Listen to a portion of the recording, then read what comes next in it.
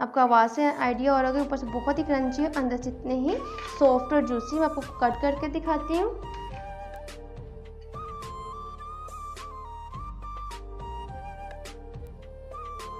अंदर से इतने सॉफ्ट ज़बरदस्त बने हैं। चॉकलेटी हैं, बच्चे से बहुत ही शौक से खाएँगे।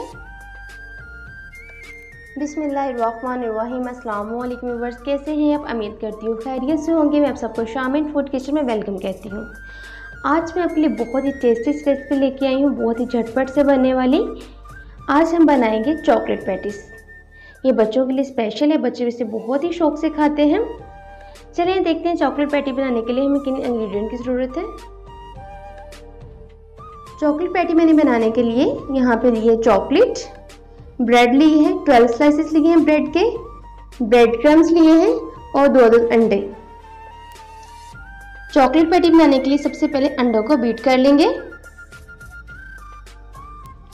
विस्क की मदद से अंडे को इस तरह से बीट करेंगे। अंडे को मैंने अच्छी तरह से बीट कर लिया है। सबसे पहले प्लेट में ब्रेड के एक स्लाइस रखेंगे। इसके ऊपर चॉकलेट रखेंगे। बिल्कुल सेंटर में रखेंगे अपने चॉकलेट को। इसके ऊपर ब्रेड के दूसरे वाला स्लाइस रखेंगे। यहाँ पे मैंने फ्लावर वाला कटर लिए है, आप कोई भी कटर यूज़ कर सकते हैं। इसको ऐसे प्रेस करके कट कर लेंगे। एक पैटी के मैंने कटिंग कर ली है। इस वाली ब्रेड को हम ज़ाया नहीं करेंगे इससे हम क्रम्स बना लेंगे। बाकी की भी मैं ऐसे ही कटिंग कर लूँगी। मैंने सारी पैटिस की कटिंग कर ली है, अब मैं इनकी कोटिंग करूँगी। सबसे पहले अंडे की कोटिंग करेंगे। बिल्कुल आराम से एहतियात से। अंडे की कोटिंग करने के बाद। इसको ब्रेड क्रम की कोटिंग करेंगे। अच्छी तरह से।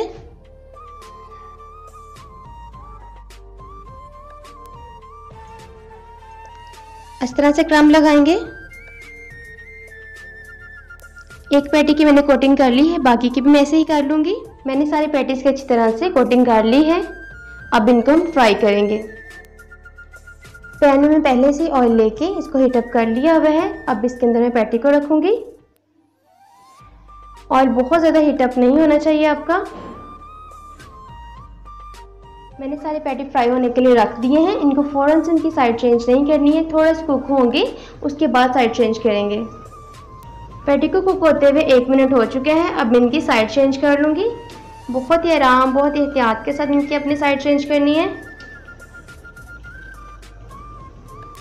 सारी पैटीज की मैंने साइड चेंज कर दी है। इनको लाइट गोल्डन ब्राउन होने तक कुक करेंगे। आप मेरी रेसिपी को ज़रूर ट्राई कीजिएगा और मेरे चैनल को सब्सक्राइब और लाइक करना बिल्कुल ना भूलिएगा। साथ में बेल आइकॉन के बटन को ज़रूर प्रेस कीजिएगा ताकि मेरी हर नई आने वाली वीडियो का नोटिफिकेशन आपको मिलता रहे।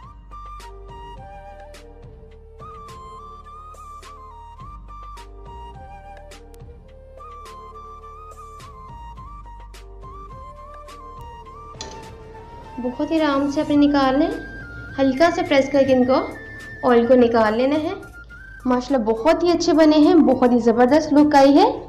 आप मेरी इस रेसिपी को सेम टू सेम ऐसे ही फॉलो कीजिएगा।